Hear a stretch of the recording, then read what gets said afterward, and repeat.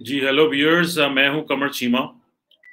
Viewers एक तरफ़ तो हमें न्यूजीलैंड की सरकार ये कहती है कि हमें उनको थ्रेट्स है, उनको खतरा है इस्लामाबाद में या उनके उनके ऊपर हमला हो सकता है। लेकिन दूसरी तरफ़ इस्लामाबाद के अंदर कुछ ऐसे Islamic so called Islamic cleric हैं, जो बेसिकली मिलिटेंट्स हैं, जो इंतहा पसंद लोग हैं, जिन्होंने इस्लामाबाद में मदरसों के ऊपर, ये देखे मैंने तस्वीर शेयर की है, जामिया सैयदा अफसा ये वही मदरसा है, ये वही मदरसा है जो एडजस्टेंट है लाल मॉस के, जहाँ पे खातन तालिबान के झंडे भी लहरा रही हैं और रियासत पाकिस्तान को चैलेंज भी कर रही हैं। और ये देखें, ये किस तरह पुलिस की पुलिस को मना कर रही है कि इनकी टेरिटरी में ना आए। और ये हैं वो मौलाना अब्दुल अज़ीज़ साहब, जो कि लास्ट टाइम जब लाल मस्जिद पे ऑपरेशन हुआ था तो ये बुरका पहन के भाग गए थे और रात के अंधेरे में पकड़े गए थे।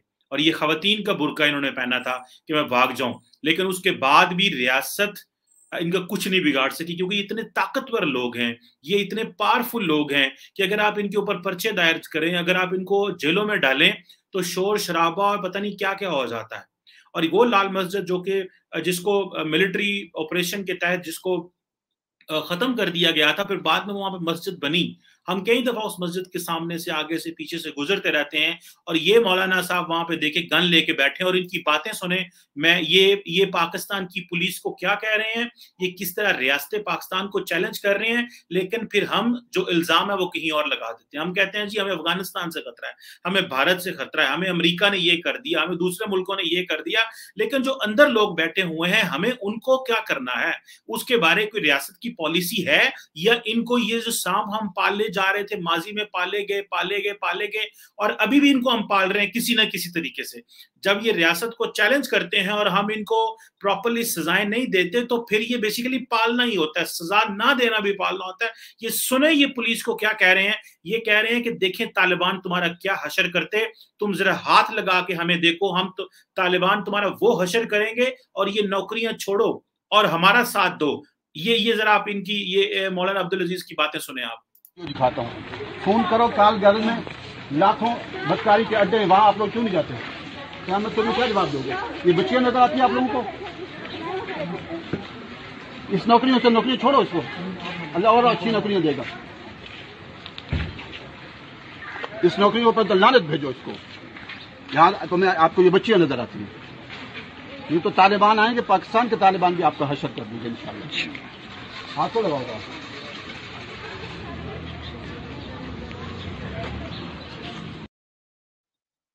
ये कह रहे हैं कि जब पाकिस्तानी तालिबान आएँगे तो आपका हशर कर देंगे।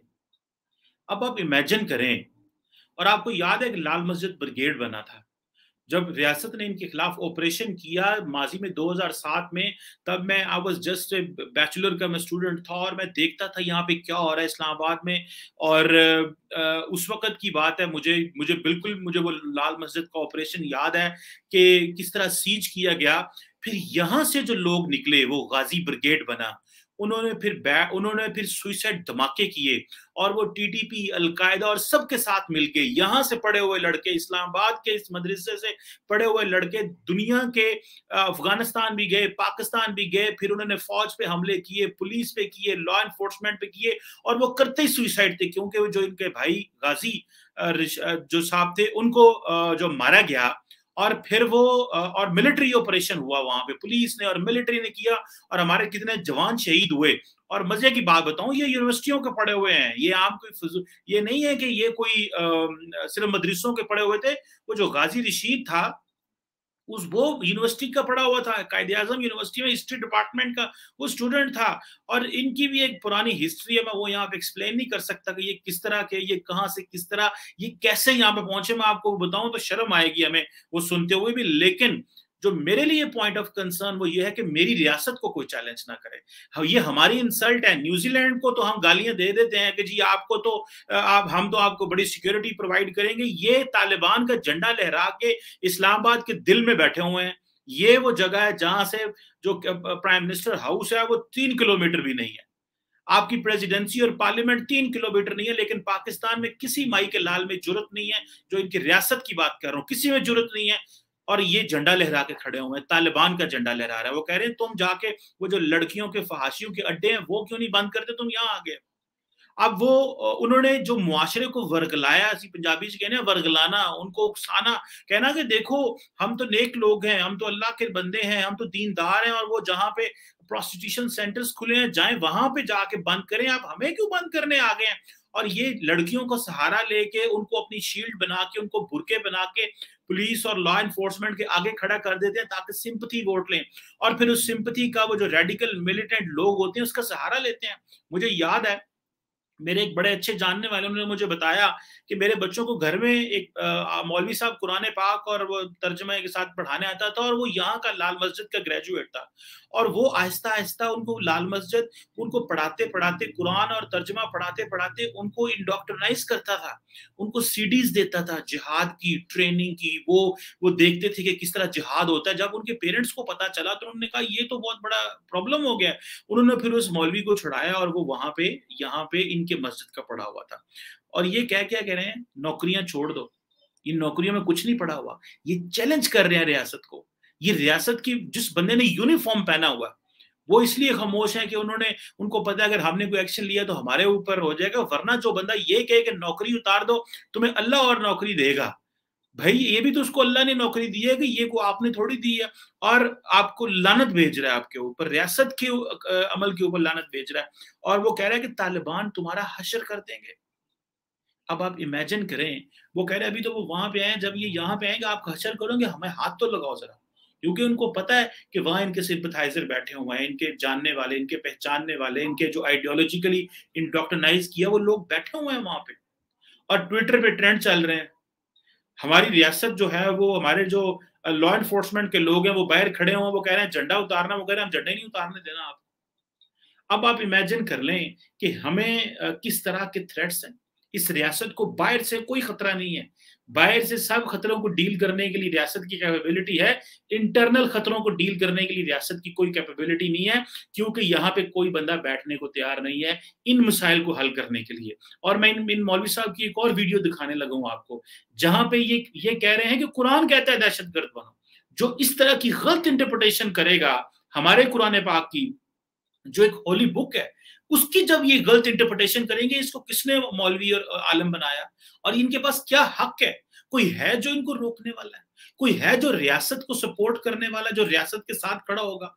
अब कोई बंदा इन मौलवी साहब जो है, इनको अगर आप बात करेंगे इस मौलवी पे तो लोग कहेंगे, जनाब, ये तो आपने इस्लाम खतरे में पड़ गया और ना इमरान खान बोलेगा, ना कोई और बोलेगा, क्योंकि मुआशरा आपके खिलाफ हो जाता है।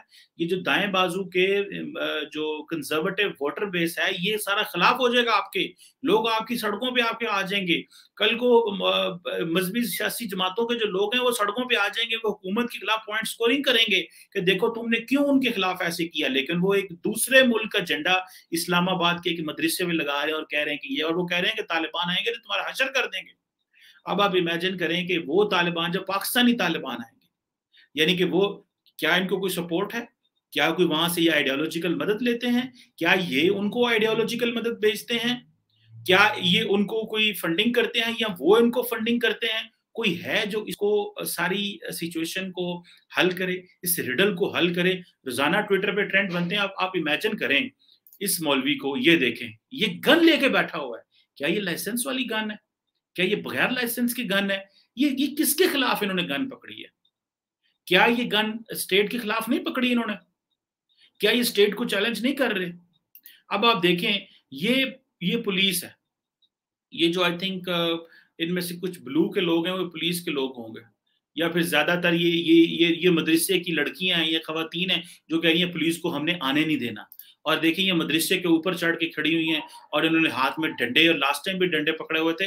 और अभी तो ये कुछ नहीं कर रहे लास्ट टाइम ये क्या करते थे कि ये जो इर्द गिर्द इस मदरसे के इर्द गिर्द मार्केट थी वहाँ जाते थे। और फॉर एग्ज़ाम्पल बार्बर शॉप जाते थे और कहते थे, ये हराम है, इसको बंद करो। सीडीज वाली दुकानों पर जाते थे कहते इसको बंद करो। फिर वो जो चाइनीज़ मसाज सेंटर थे इधर को इस्लामाबाद में, जो खुले थे उस वक्त नए नए, उधर जाके तो ये हमले करते थे कि जी भाई तुम ये बंद करो चाइनीज़ मसाज सेंटर या और मसाज सेंटर जो जो भी थे। सो इन्होंने किस तरह रियासत को चैलेंज किया? रियासत इनका कुछ भी नहीं कर सकी, क्योंकि रियासत डरती है। हम न्यूजीलैंड को तो गालियाँ देंगे हम अमेरिका, बरतानिया और सबको गालियाँ दे देंगे M I five C I A raw फलाना एन डी एम में, पता नहीं क्या, जो भी हमें समझ में आएगा, हम उसको गाली दे देंगे, लेकिन हम इनका कुछ नहीं कर सकते, क्योंकि ये अंदर बैठे हुए हैं ना, ये हमें मारेंगे, ये हम सबको मारेंगे, क्योंकि इन्होंने इन्होंने इन्होंने चैलेंज किया रियासत को, इनको कोई पूछने वाला नहीं है। ये इन मौलवी साहब की, इसकी वीडियो देखें आप, और ये देखें क्या कह रहा है। ना इनको कोई दीन का पता ना कुरान का पता ना इस्लाम का पता और ये कह रहे हैं कि कुरान कहता है दहशत गर्द बनो। ये आप जरा सुने इसको। कुरान तो खुद कहता है तो तुम टेररिस्ट बनो। अभी हमने सिर्फ़ झंडे लहराए अपने जाम हफ्सा पर। जिनको यहाँ उनके झंडा पसंद नहीं तो वो उनके निज़ाम को कैसे पसंद करें? ईरान में ताबूत सारा ताबूत बैठा है। अच्छा। पाकिस्तान में ताबूती निज़ाम मौजूद है शक्ल में मौजूद है पाकिस्तान में? मेरे मैं, मैं तो उसको इस्लामी समझते नहीं हूँ। मैं तो कहता हूँ ये आइन कुफरी आइन है? अच्छा। इसका इस्लाम से कोई ताल्लुक ही नहीं है। सुन्ना की रोशनी में शियों के जुलूसों की शियों के नहीं और किसी जुलूस की भी इजाज़त नहीं होनी चाहिए। आप नेक काम कर रहे हैं और नेक काम करने के लिए काफ़ी भी आपका ताउन करते तो उसमें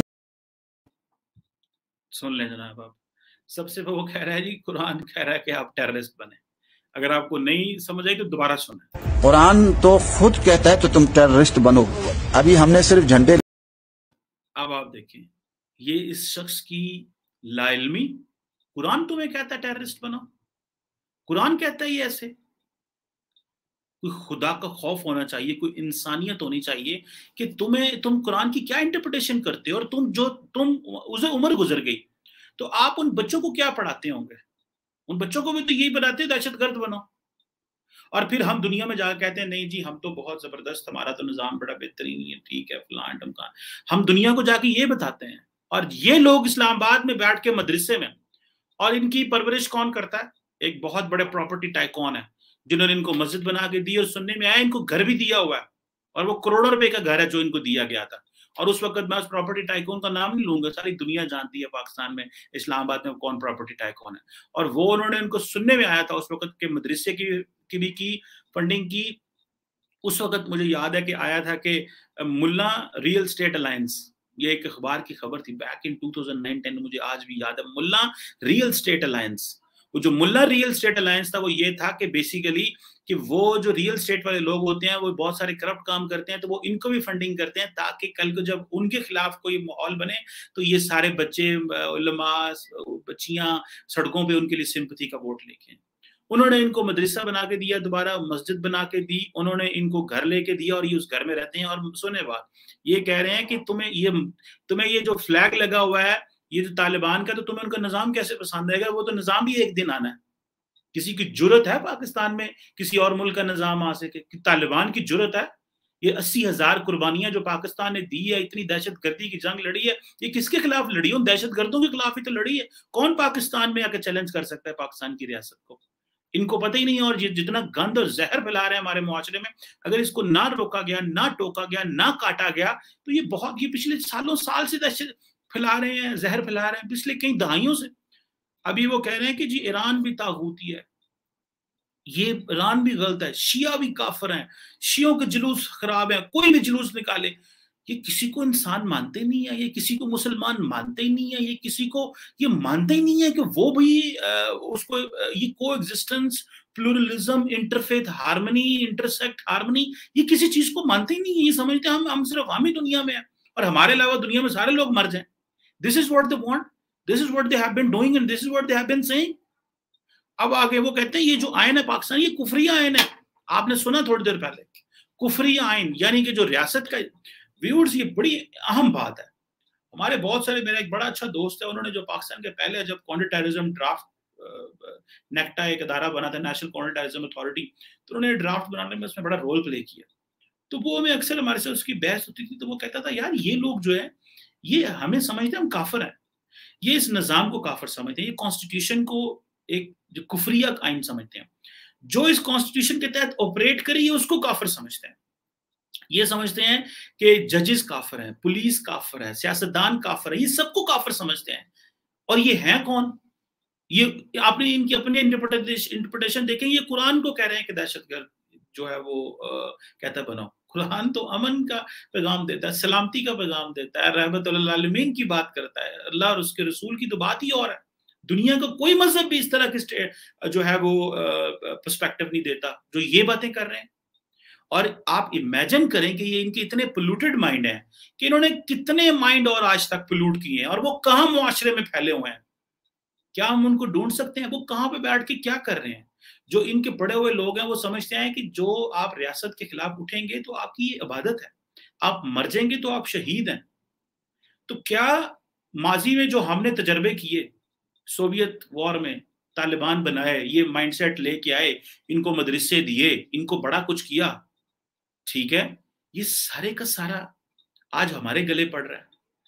ये हमें चैलेंज कर रहे हैं। ये हमारी रियासत को हमें चैलेंज कर रहे हैं। हमारे बच्चों को ये कातल समझते हैं, काफर समझते हैं। हमारी रियासत को ये काफर समझते हैं। ये कुफरी आइन समझते हैं। कहते हैं, ये आइन ही कुफरी है। जिस आइन के तहत आप यहाँ पे सिटीजन हो, जिस आइन के तहत आपने आईडी कार्ड लिया हुआ है, जिस आइन के तहत आपके पास पासपोर्ट है, जिस आइन के तहत इस मुल्क की शहरियत आपके पास है, उसको आप कुफरिया समझते हैं। इसका मतलब यह है कि ये सोचते हैं कि हमें एक मुस्तकबिल में एक और आइन बनाना है। हमें अपनी रियासत बनानी है। हमें अपनी स्टेट बनानी है। और उस स्टेट में हम एक नया कॉन्स्टिट्यूशन ड्रॉ करेंगे। और वो जो कॉन्स्टिट्यूशन होगा, वो इस्लामिक कॉन्स्टिट्यूशन होगा, शरिया के मुताबिक होगा और वो तालिबान वाला कॉन्स्टिट्यूशन होगा। अब इनकी तालिबान के साथ क्या ताल्लुक है? क्या इनको नेशन स्टेट सिस्टम का नहीं पता? क्या इनको नहीं पता कि रियासत किस चीज़ को कहते हैं? क्या इनको पता है ग्लोबल सिस्टम किस तरह काम करता है? जो अपने ही मुल्क के जजेस सियासतदानों पुलिस को काफर समझते हैं, जो शीयों को काफर समझते हैं, जो ईरान को तागूती समझते हैं, जो और ममालिक को क्या समझते हैं? ये लोग कौन लोग हैं? ये basically they are not normal people ये इबनॉर्मल लोग हैं। और ये अपने आप को, ये पढ़े लिखे भी नहीं है ये प्रॉपर इबनॉर्मल लोग हैं। क्योंकि रियासत को चैलेंज कर रहे हैं। रियासत को तो कोई भी चैलेंज नहीं कर सकता। No one can challenge the state और रियासत ने जितनी कुर्बानियाँ दी हैं, हमें कोई पता ही नहीं है। हमें, हम कंफ्यूज हैं। हम बहुत ज़्यादा कंफ्यूज हैं। क्योंकि हम जो मिलिटेंट्स हैं, ये जो मजहबी नफरत फैलाते हैं, इनको रियासत हाथ नहीं डालती। क्योंकि रियासत डरती है। रियासत को पता है कि कल को हमारे खिलाफ जुलूस निकल आएँगे। सड़कों पे कत्लो गारत शुरू हो जाएगी। हम सियासतदानों को ये हम इलेक्शन हार जाएँगे। सो इनको दूध पिलाते रहो। इनको दूध पिलाते रहो। जितना दूध पिलाओगे और इनको पालो, बड़ा करो। और जो आने वाला बंदा होगा वो इनको चैलेंज करे। उतनी देर में ये ताकतवर होते रहते हैं। ये इतने ताकतवर होते रहते हैं कि पीएमएलएन पीपल्स पार्टी के लिए छोड़ देगी पीपल्स पार्टी पीटीआई के लिए छोड़ देगी। जो मिलिट्री डिक्टेटर है, वो अगर कोई अटेम्प्ट करेगा तो हाफ़ हार्टेड अटेम्प्ट करेगा, बीच में छोड़ देगा। उसको अपनी पड़ी रहती है कि मुझे लेजिटिमेसी मिले, मेरे खिलाफ कोई चैलेंज ना हो। मुशरफ ने जो इनको खत्म करने की कोशिश की, ये तो और ताकतवर हो गया। फिर उन्होंने कोई थोड़ा हमारा बंदा मारा। इन मिलिटेंट्स ने यही लाल मस्जिद ब्रिगेड ये जो गाजी ब्रिगेड बना, इन्होंने कोई पाकिस्तानी थोड़े मारे। इन्होंने बहुत पाकिस्तानियों को मारा। दिन रात हमले होते थे। और और बाद में पता चला, ये तो ये लोग हैं। हमें तो अंदाज़ा भी नहीं था कि ये इस तरह ये जो ऑपरेशन है, ये ये लोग यहाँ पे कितने वायलेंट होंगे। और आज ये लोग उस तरह दहशत गर्दी बेशक नहीं कर रहे। मतलब कि गन मतलब उस तरह नहीं भेज रहे अपने लोगों को एक्टिवली लेकिन ये लोगों को इंडोक्ट्रनाइज कर रहे हैं। क्योंकि दहशत गर्दी करेंगे तो मारे जाते हैं। अगर कहीं पे गन उठाएँगे तो मारे जाएँगे। स्टेट का सिक्योरिटी ऑपरेटर स्ट्रांग है वो तो उनको उड़ा के रख देगी। लेकिन ये नजरियाती तौर पे जो जहर फैला रहे हैं मुआरे के अंदर उस जहर को रोकने की ज़रूरत है। उस जहर को ना रोका उसको ना टोका उसको ऐसे फैलने दिया तो हमारा मुआरा जो है वो आ, उसकी आ, लोग उस पर बड़ा क्वेश्चन करेंगे। और जब आपको पता है अफ़गानिस्तान के तालिबान आए थे तो मैंने कुछ वीडियोस बनाई थी और ये कहा था कि पाकिस्तान में कुछ ऐसे सेगमेंट्स होंगे जो अफ़गानिस्तान में ये जो इस्लामी रियासत और ये ज़ोर ताकत, ये जो तालिबान पावर में आए हैं, वो उसको ग्लैमराइज करके, इस्तेमाल करके अपने लोगों को, बच्चों को बच्चियों को इस्तेमाल करेंगे। और ये जो मौलाना ये वही काम कर रहा है। ये मौलाना वही काम कर रहा है कि वो जो अफ़गानिस्तान वाले मौलवी हैं, तालिबान हैं, उनको ग्लैमर अब उनके झंडे यहाँ पे लगा रहा है। क्या तालिबान, अफगानी तालिबान ये कहते हैं कि हमने पाकिस्तान में भी अपनी स्टेट बनानी है? या पाकिस्तान में अपने झंडे लहराने वो ये कह रहे हैं बिल्कुल नहीं वो कह रहे। वो तो बात ही कोई नहीं कर रहे ये खुद ही वफादार बने हुए हैं उनके। सो so, मुझे तो I am very much disappointed और मैं किसी से डिसअपॉइंटेड नहीं हूँ मैं अपनी स्टेट से डिसअपॉइंटेड क्योंकि मेरी सियासी लीडरशिप के पास मेरे लोग जो इस वक्त मेरा मुल्क चला रहे हैं उनके पास कोई सोल्यूशन नहीं है कि इन, इन मिलिटेंट्स को कैसे डील करना कभी वो टीएलपी वाले आके बैठ जाते हैं और हमें होस्टेज बना लेते हैं और कभी ये इस्लामाबाद में देखें, हमें होस्टेज बना लेते हैं। और फिर हम कहते हैं, देखो M I six M I five जो है और वो, जो है एन डी एस और फलानी और रॉ और ये और वो सब हमारे खिलाफ काम कर रहे हैं। जबकि खतरा किधर है? The threat is within threat is within अगर हमने इसको ना ठीक किया, इसको ना कंट्रोल किया, ना टेक ओवर किया, इनको एलिमिनेट ना किया तो फिर हमारा खुदा ही हाफिज